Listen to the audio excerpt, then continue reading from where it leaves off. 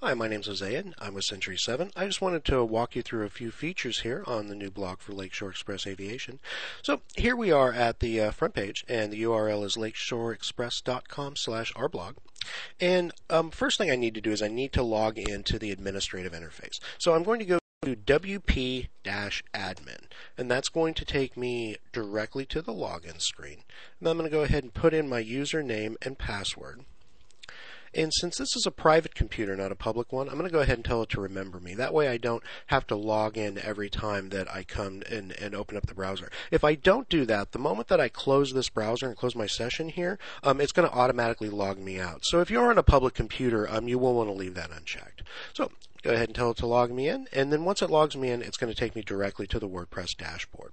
Over here on the left hand side, you're going to see a bunch of different menu selections. This is kind of the, the heart and soul of, of WordPress right here, and it allows you to change a tremendous amount of stuff inside of WordPress. But what we're going to be most interested in is posts because this is this particular version of WordPress is being used as a blog right now. So, um, once you're logged in, one thing you'll know, I'm going to go ahead and come up here and I'm going to right click and open up the site here. And that's going to take me, this little shortcut right here, whether it says visit site or I just click on this right here, it's going to take me to the exact same place, which is the front page of the blog here. Now you're going to notice since I'm actually logged into WordPress, I still have here to the WordPress administrative taskbar. So I have a very simple way to go back and forth between the dashboard and between WordPress right here. Very, very easy to do. And if you're making changes to the site and you want to see those changes, you can actually make those changes here in the dashboard, come out here, and then just refresh the page to take a look at those changes.